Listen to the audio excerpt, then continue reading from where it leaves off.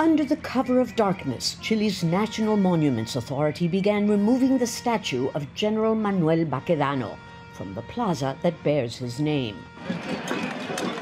It's a major landmark of Santiago, but when it became the epicenter of constant social protests 16 months ago, the battle for Baquedano was on. The War of the Pacific hero was painted, ridden, and dressed up by protesters who've renamed the area Dignity Plaza.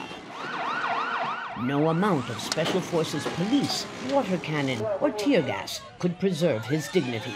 Efectivamente, hay una guerra simbólica. Indeed, there's a symbolic war between the old and the new order that has arose more than a year eh, ago with the social uprising.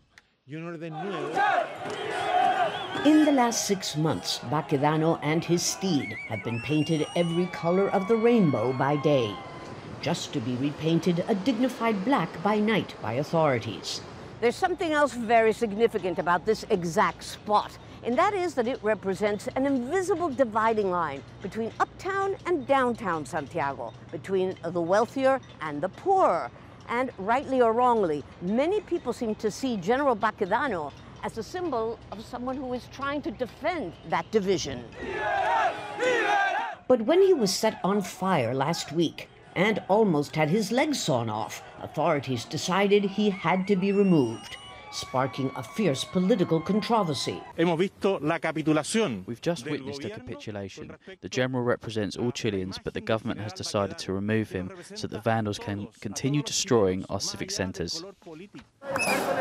Using his statue to fly the indigenous Mapuche flag has even been described as heresy. But many others see it as an act of historic justice. He's a symbol of terrorism. He massacred the Mapuche in southern Chile. Just to have Baquedano occupying this space is violent. The National Monuments Council says the two ton statue is being taken away for repairs for at least a year. An image that represents General Baquedano's first major defeat, or at the very least, a tactical retreat. Lucia Newman, Al Jazeera, Santiago.